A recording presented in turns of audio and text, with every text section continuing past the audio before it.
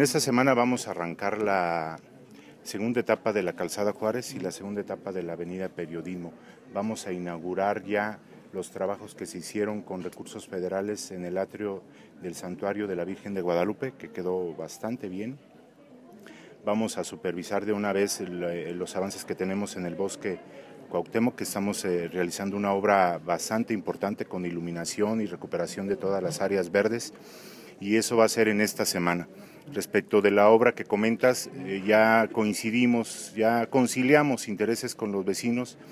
El gobierno municipal planteó un proyecto para crecer las banquetas porque nosotros creemos que los peatones tienen derecho a transitar con seguridad, que tengamos una ciudad muy caminable. La calzada Juárez es una calzada preciosa que debemos de magnificar, aprovechar con ciclovía, con trotapista y eso lo hemos platicado con ustedes.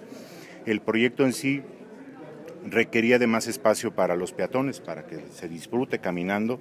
Y los vecinos, eh, algunos vecinos dicen, bueno, es que ¿dónde voy a poner mi carro?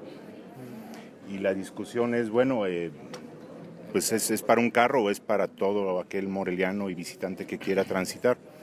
Pero ya conciliamos, en algunas partes eh, se quedará en la traza que tiene y en otras podremos ampliar el, el área para caminar, para que la gente disfrute de, la avenida, pero ya está conciliado, ya tenemos un comité, el comité lo hicimos con ellos mismos y va a caminar sin ningún problema. O sea, la verdad es que ahí ya no tenemos ningún problema.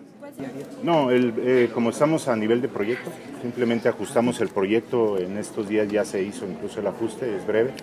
Eh, los recursos que se iban a aplicar ahí se aplicarán al fondo del, de la, del lado Oriente, que es el que se va a intervenir en esta ocasión.